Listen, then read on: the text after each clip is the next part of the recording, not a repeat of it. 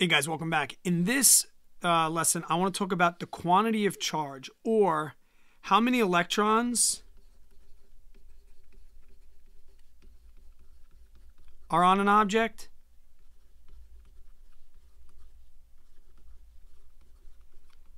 but also how many elementary charges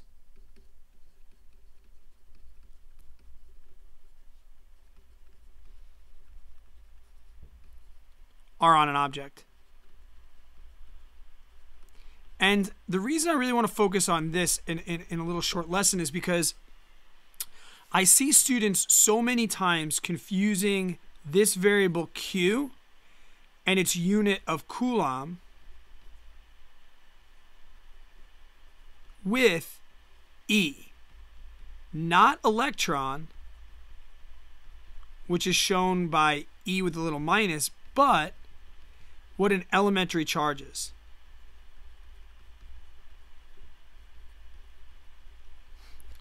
So let's go into that and we'll talk exactly what the difference is and how you can find how much charge is on an object.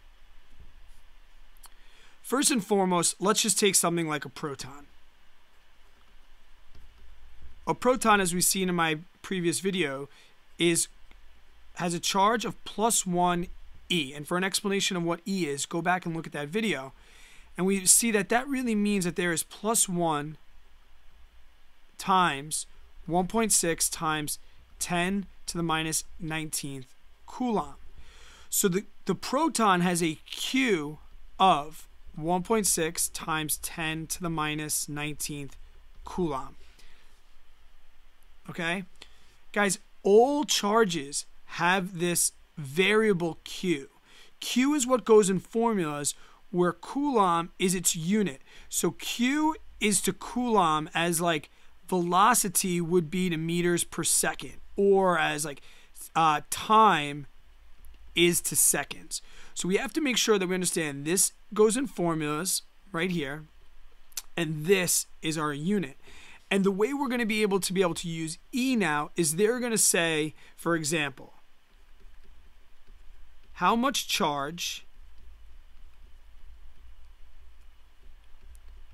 does an object with an excess of 40 protons have. Okay, now this is really an easy process for you to figure out if you know what E is. So if if we look up here, if one proton is plus one E, and I want to know what 40 protons is, I'm just going to take 40 and I'm going to multiply that by E. So we really would say 40 times 1.6 times 10 to the minus 19th coulomb. And what that would give me is that would give me the charge of 40 protons. And you could do this with an excess of any type, any amount of um, charges. If it was, say, for example, the charge of 7,000 electrons,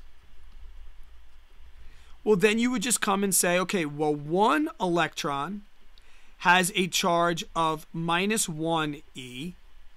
Therefore, 7,000 electrons would be 7,000 E. Oops. So we could say 7,000 times the value for E, 1.6 times 10 to the minus 19th coulombs. Because E equals this amount of charge.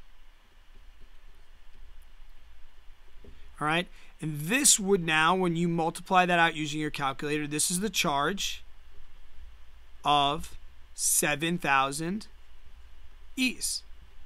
So that's how we go from having an amount of electrons or an amount of protons to its charge. When I want to go back the other way, things can get a little bit more confusing. Now we can say how many electrons are on an object that has one coulomb of charge. So now, instead of me giving you the electron amount and having you go to charge, I'm going to go the opposite way. So now I say I have one coulomb of charge. How many E's is that? Well, I have to think about do I know the charge of 1E? Well, 1E is equal to 1.6 times 10 to the minus 19th coulomb. That's the charge of an electron.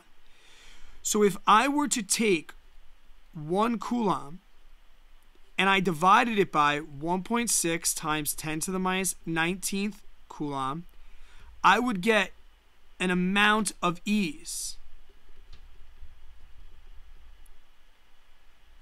I mean elementary charges. This is how many elementary charges would be located on this item. When you do the math on that, you find out that it comes out to 6.25 times 10 to the 18th E's.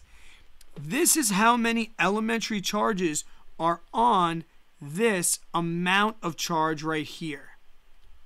All right, this is how we found that out. So there's going to be two processes. One, to go from an amount of protons, neutrons, and electrons, we multiply by little e. 1.6 times 10 to the minus 19th coulombs. Okay? But to go from charge,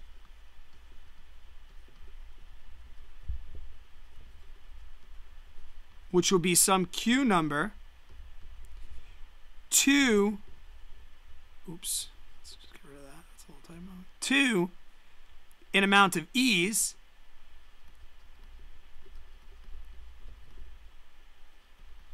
I'm going to divide.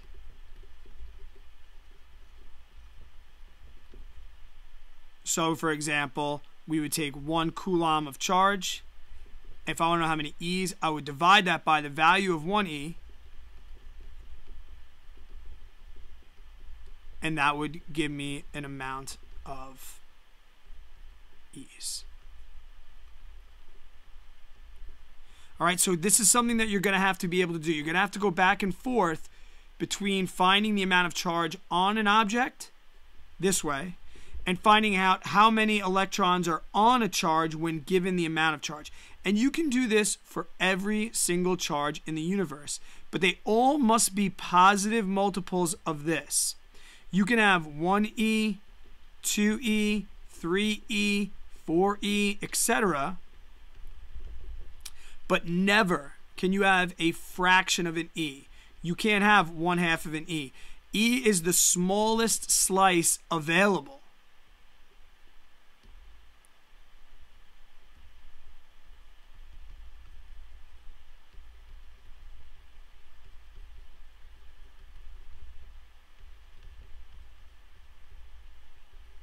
All right, guys, I hope that helps you find out um, how much charge when given an amount of electrons, and also find out how many electrons when given Q a charge. If you have any questions, leave them in the comments down below. I'll catch you on the next one.